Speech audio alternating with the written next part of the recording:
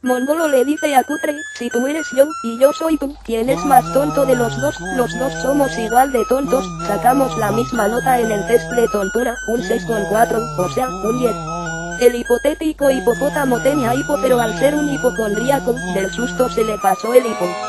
Están hablando un sevillano y un bilbaíno y le dice el de Bilbao al de Sevilla, te vienes a Bilbao, no hace falta que hables como nosotros, puedo poner la D entre la y la U, puedes decir, Bilbao, si quieres, no estás enterado, Bilbao se dice así, como te lo he dicho yo, no lo estaba abreviando.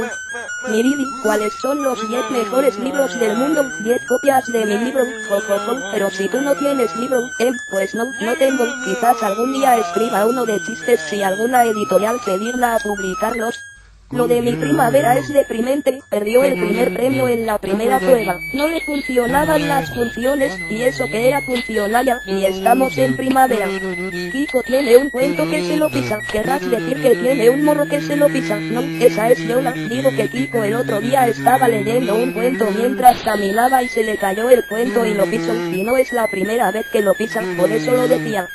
¿Quién es el más tonto de la lista? El último. ¿Por qué? Porque tonto el último. Eso que acabas de decir no tiene ni pies ni cabeza. Tú sí que no tienes ni pies ni cabeza. Oye, oye, no te metas con los de mi especie. Que seamos unas babosas con tentáculos dotadas de cerebros no es motivo de burla ni rechazo.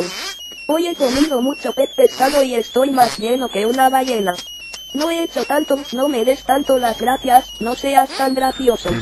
Hoy voy a entrar a clase de matemáticas, hoy vamos a ver senos, no es lo que tú piensas, sí que es lo que yo pienso.